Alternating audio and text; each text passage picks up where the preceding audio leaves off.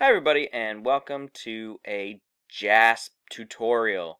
Today we are going to start with how to open a data file in JASP. So here I have JASP open. Uh, I am currently working with JASP 0.10. This is the um, current beta version, preview release version, and this is what we are going to work with. If you have an older version of JASP, this should be relatively easy to map back. Uh, the uh, toolbar up here at the top looks a little bit different than previous versions, but for the most part, it's about the same. Um, so we are going to open a data file into JASP. Now, one of the things that sets JASP apart from other open source software, statistical software, is that it uh, does not have native data handling. So you have to use another data program. Uh, for sake of ease, I am using Excel here I already have a data file open and it is saved in Excel's native data type, which is an XLSX. Um, we cannot open the XLSX in JASP. We actually need to make it a CSV file, uh, comma separated values. So going back here to JASP, um, we'll go to the three horizontal lines in order to open the uh, menu. And so we have uh, Open, Preferences, and About. We're going to go to Open, and here you have recent data files. You have a couple of uh, data files that I've opened previously, uh, where we can browse our folders, the Open Science Framework, and uh, the data library that comes with JASP. So these are data files that are uh, stored in the install files.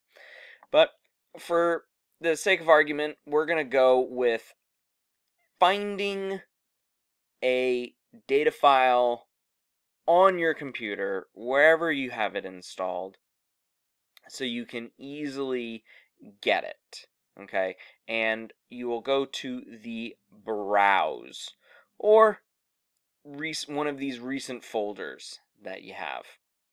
Um, so one of recent folders that we're actually going to go to is uh, one of my folders, uh, data files.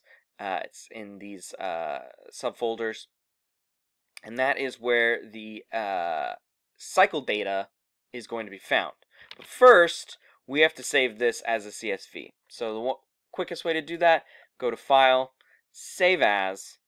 Uh, I'm going to save it to the same folder, and we are going to go here to save as type, and here you can save it as all of these different kinds of uh, files through Excel. We are going to navigate all the way down to CSV, comma delimited, and that is just another way of saying that in a regular text file, if I were to save this as a .txt down here, the way to separate the data would be through commas as opposed to cells.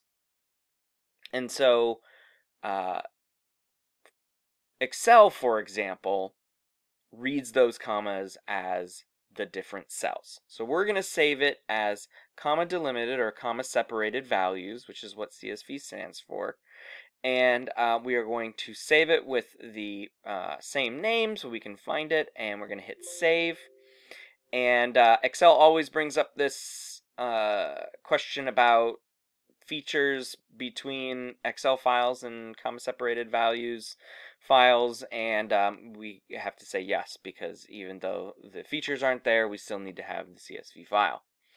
So we have cycledata.csv. Now let's head back to JASP. Here we again we are in the computer browse section but because data files is a recent folder that I've used I'm going to go ahead and just click on it and it will navigate me to the folder as you can see with that little text there. And I'm going to go here to cycledata.csv. I'm going to click on it. You can double click on it or you can click on it once and then go ahead and click open. And here it, it automatically opened the file into JASP. Now, these uh, functions which were grayed out are all available for me to use. Before we end this video, I wanted to just briefly mention that because JASP does not have native data handling functionality, if we wanted to make a change to any of these cells, we would have to change them in Excel or another program that can handle the CSV file. Um, and in order to do that, if I wanted to uh, change any uh, any one of these cells, all I have to do is double click. See, you can see it says double click to edit data, and because I have it open, it says it's already open. So if you don't have it open, uh, it will, uh, so I'm going to show you that and close it. Now I'll double click the data and it should open Excel and plop us back into here and you can see it's cycle data .csv and here it is. And if I make a change here if I change this to 120 so that is sit1 none the variable sit1 none and uh, row 13 I'll make a change there. Okay from 125 to 120 I hit save. It'll come up with the features thing again. I hit yes.